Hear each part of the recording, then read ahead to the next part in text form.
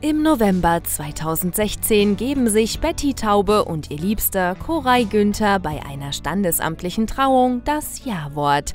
Doch auf eine große Hochzeitsfeier wollen die beiden nicht verzichten. Jetzt folgt bei strahlend blauem Himmel endlich eine märchenhafte Hochzeit in Weiß. Zusammen mit ihren Familien und Freunden feiert das Brautpaar in den Herrenhäusergärten in Hannover. Und an dem wichtigsten Tag ihres Lebens lässt uns die Ex-GNTM-Kandidatin auf ihrem Instagram-Account teilhaben. Stolz postet das Model etliche Videos und Bilder auf ihrem Profil. Die 24-Jährige fährt in einer weißen Kutsche vor und trägt ein trägerloses weißes Kleid, das über und über mit Spitze besetzt ist. Ein weit ausladender Rock mit mega langer Schleppe macht den romantischen Prinzessinnen-Look einfach perfekt.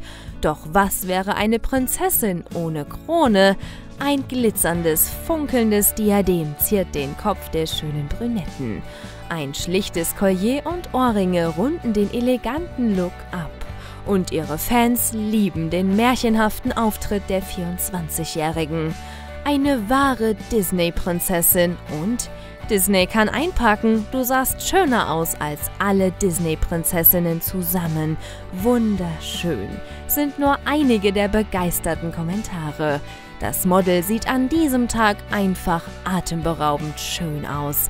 Doch das war noch längst nicht alles. Die Feier findet passend zum Kleid in einem pompösen Ballsaal statt. Weiße Tauben und ein großes Feuerwerk machen den Tag zu etwas ganz Besonderem. Wenn das nicht Traum eines jeden Mädchens ist.